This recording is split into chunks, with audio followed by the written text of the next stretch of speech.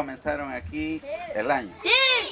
Desde hace 16 días, niños del caserío Los Almendros del cantón Punta Remedios en el municipio de Acajutla iniciaron labores de clase bajo una champa. La iniciativa nace de los padres de familia que tenían temor que a sus hijos les pasara algo en el camino. Una maestra interina decidió ayudar a los padres de familia para enseñarles a los pequeños de la comunidad.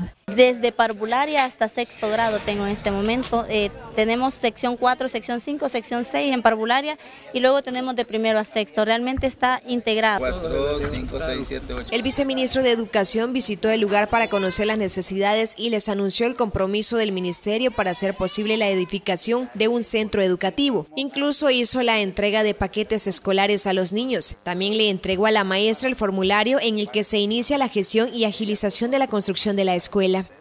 Y hemos iniciado este día el proceso juntamente con la maestra eh, que ha contratado la comunidad para poderle pagar vía Ministerio de Educación y iniciar el proceso de inscripción del centro educativo para poderle destinar fondos de infraestructura.